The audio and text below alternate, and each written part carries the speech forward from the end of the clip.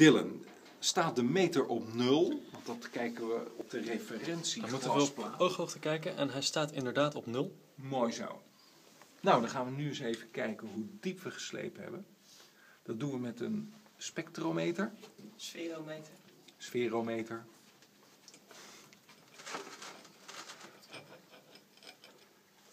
En hoe diep is hij?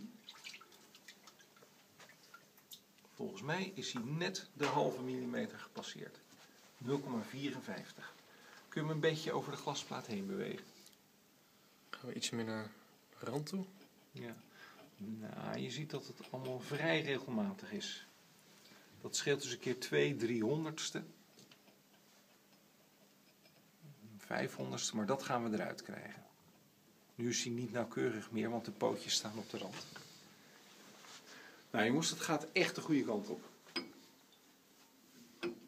Nu gaan we even slagen maken. Zeker.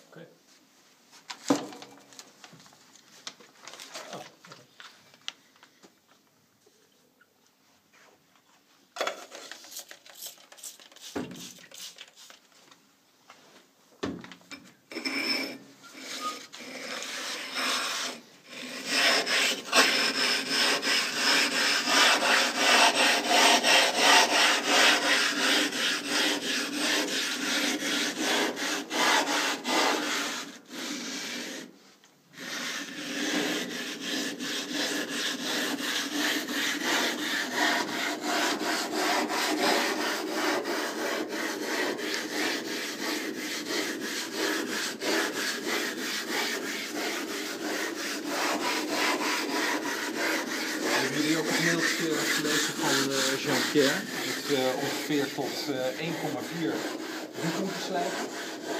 En dan draaien we om. Dus dan gaat de spiegel die gaat dan weer vastgeklemd. En dan met de tool slijpen we de spiegel terug tot ongeveer 1,2 mm. Eh, dan haal je de fouten aan de rand. haal je eruit.